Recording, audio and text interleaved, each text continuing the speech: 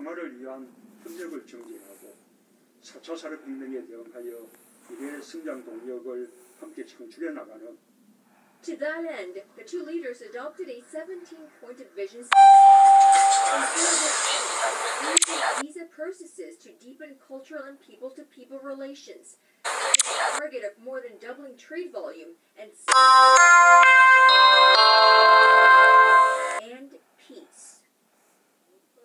Nuclear proliferation links in East and South Asia.